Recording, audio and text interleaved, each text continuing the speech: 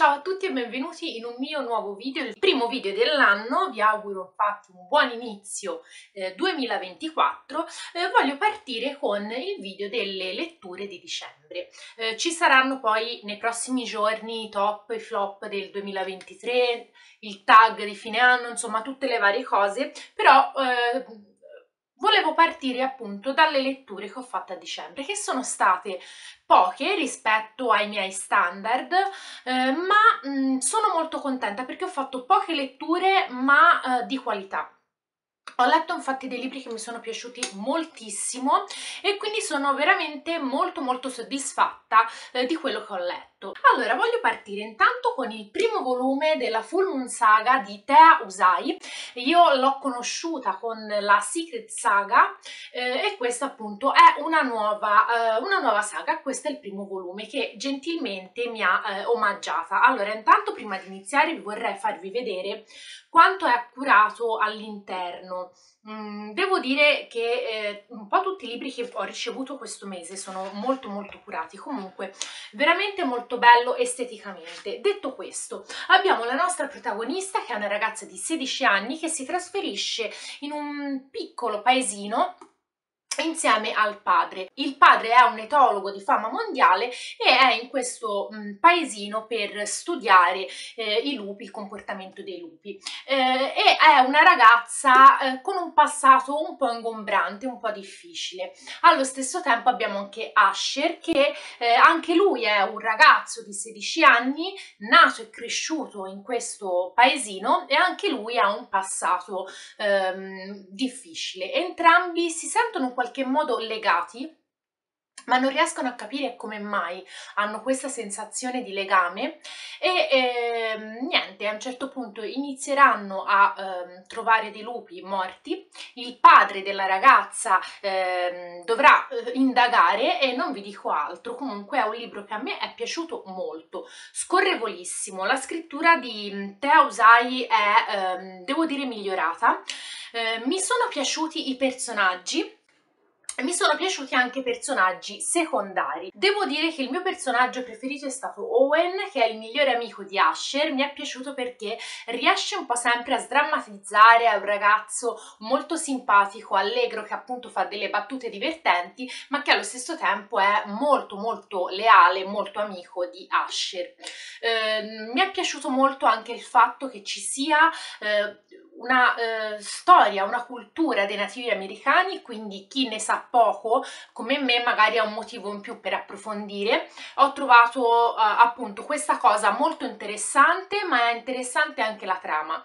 Eh, non annoia, ci sono dei colpi di scena, è ricca di azione e eh, insomma come primo volume devo dire promosso a pieni voti, mi è piaciuto tantissimo. Altro libro che mi è piaciuto moltissimo si tratta di Eclipse, è ehm, l'ultimo volume uscito dell'autrice, un fantasy, eh, dalla copertina secondo me meravigliosa, questa è la copertina più bella tra tutti i libri dell'autrice eh, e il libro mi è piaciuto altrettanto, infatti ho dato 5 stelle, eh, qua come mh, mm, protagonisti della storia abbiamo i Fai, eh, che appunto in sono in quest'isola eh, abitata da questi Fai che sono legati eh, alla natura. Livain è una Fai comune e lavora in una taverna insieme alla sua migliore amica una sera, come tante altre, fa ingresso in questa taverna un fae dall'aria familiare.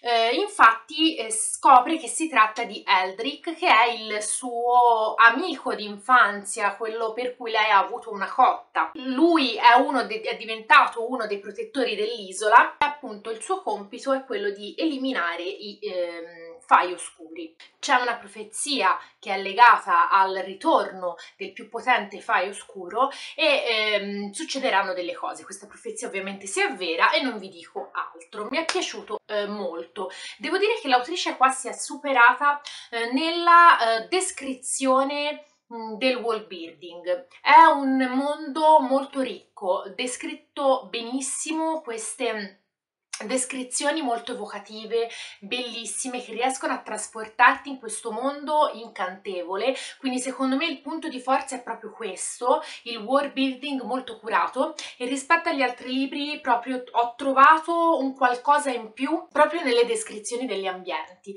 eh, è stata, si è superata diciamo eh, con questo libro. Seguiamo i punti di vista di eh, Livain e di Eldrick, che appunto mh, mm, sono i nostri due protagonisti, sono due personaggi personaggi che ho amato entrambi. Eh, è anche questa una storia ehm, ben sviluppata, ricca di azione, ricca di amore, contraddimenti, magia, colpi di scena, c'è un po' di tutto. Insomma, è un libro che in sole 300 pagine riesce veramente a eh, catturarti, a prenderti dall'inizio alla fine. Si legge molto velocemente, come tutti i libri dell'autrice, devo dire, è assolutamente consigliato. Altro libro letto, eh, altra collaborazione, un libro che a me è piaciuto molto moltissimo che aspettavo da tanto è L'alba del destino di Donatella Tamburini. Questo qua è lo spin-off, il primo spin-off della saga Est the Reset, di cui vi ho parlato abbondantemente negli altri video, eh, insomma una saga mh, mm, fantasy distopica che a me è piaciuta tantissimo e questo appunto è il primo spin-off. È un come sarebbero andate le cose se e devo dire che è stato molto molto interessante. All'interno di questo libro, di cui non vi dico la trama perché potrebbe essere un po' spoiler se non avete letto la saga,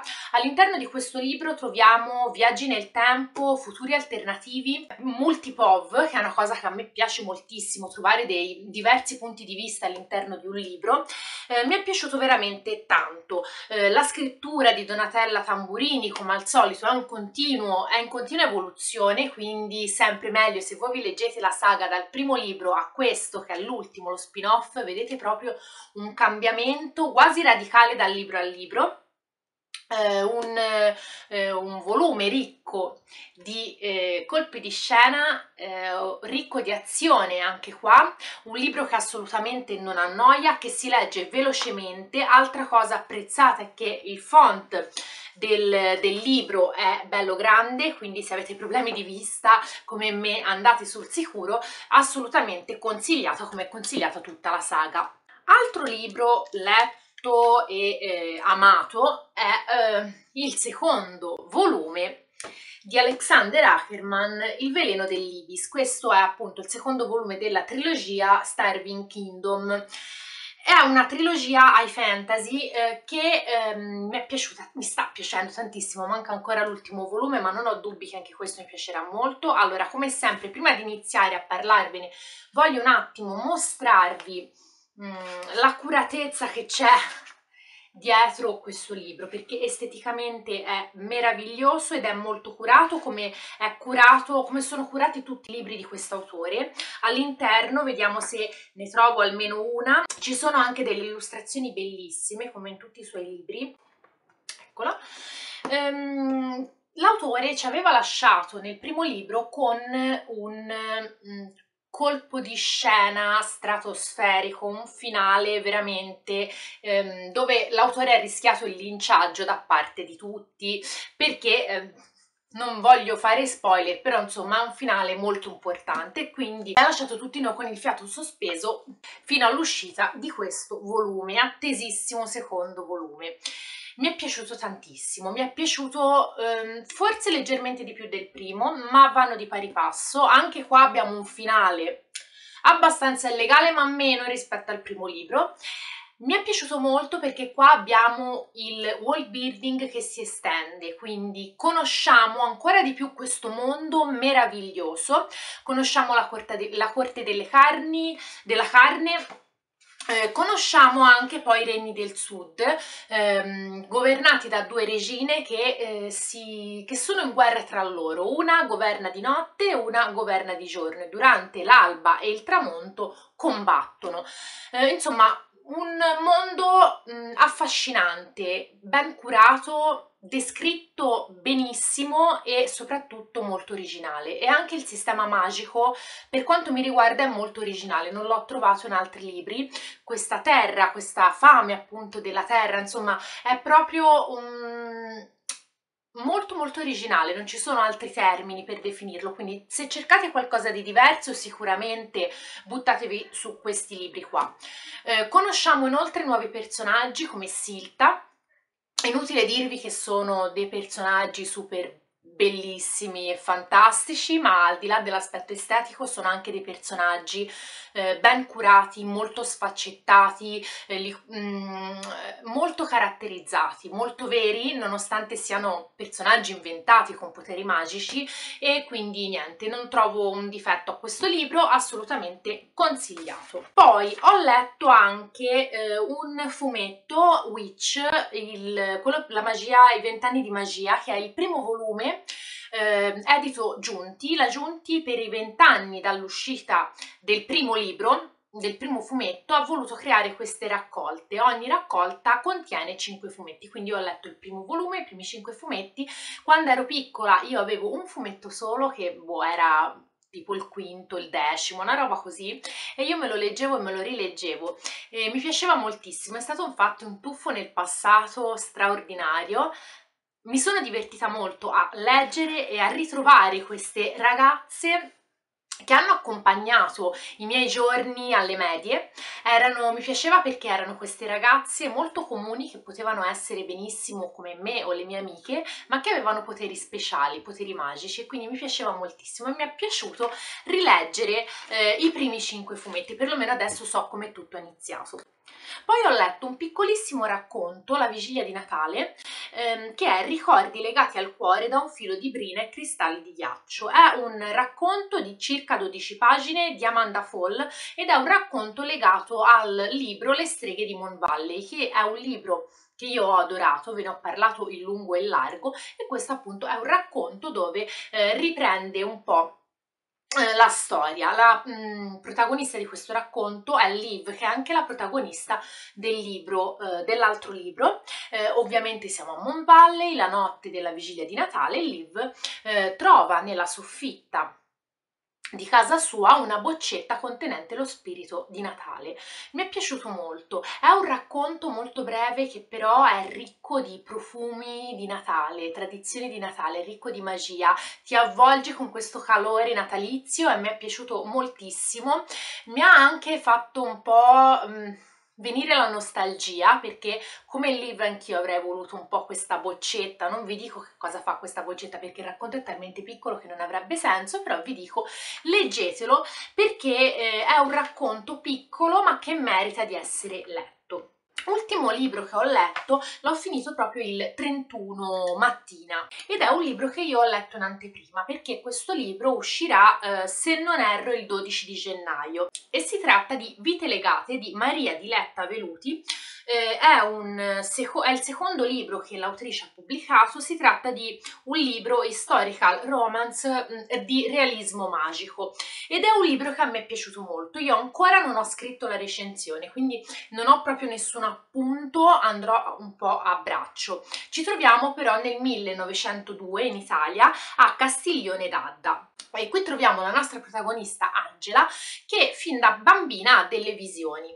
Queste visioni però non sono ben accettate dalla sua famiglia borghese e quindi decidono di chiuderla in un manicomio. Allo stesso tempo abbiamo anche un'altra persona, un uomo, che eh, ha una vita molto complicata e, e, si ritrova ad essere in qualche modo legato ad Angela, i due sono legati come da un filo invisibile e ehm, devono scoprire perché è un libro che a me è piaciuto moltissimo. Intanto mi sono piaciuti molto i personaggi, che sono dei personaggi molto realistici, ben descritti, ben caratterizzati, con dialoghi veritieri, eh, quindi un punto a favore.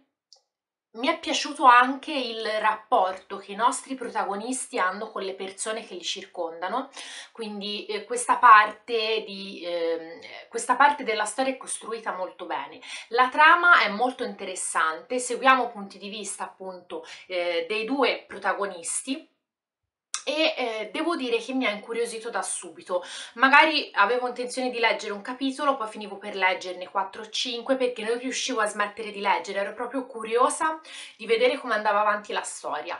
Un'altra cosa che mi è piaciuta molto di questo libro è il fatto che eh, l'autrice ci mh, racconta, ci descrive eh, la vita ehm, nei manicomi italiani di quel tempo, una vita dura, una vita piena di abusi, di torture, eh, in cui non erano solamente le persone con problemi mentali a essere rinchiuse nei manicomi, ma anche persone che erano un po' scomode alla società. Eh, come ad esempio Angela, ma come altre persone, magari una ragazza che ha avuto un amante, ehm, magari è stata chiusa per litigi o il marito che si trova un amante e non vuole più la moglie tra i piedi, quindi abbiamo delle persone normali che vengono chiuse in questi manicomi, torturate.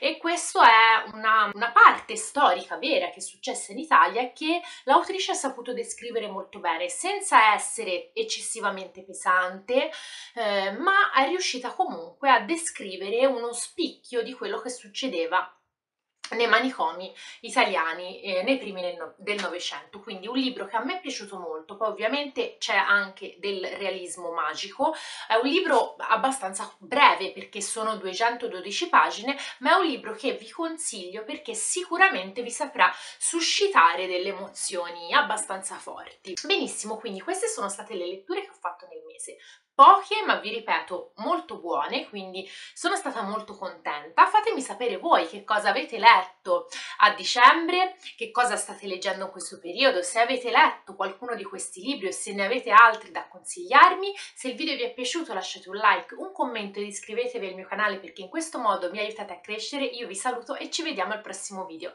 Ciao ciao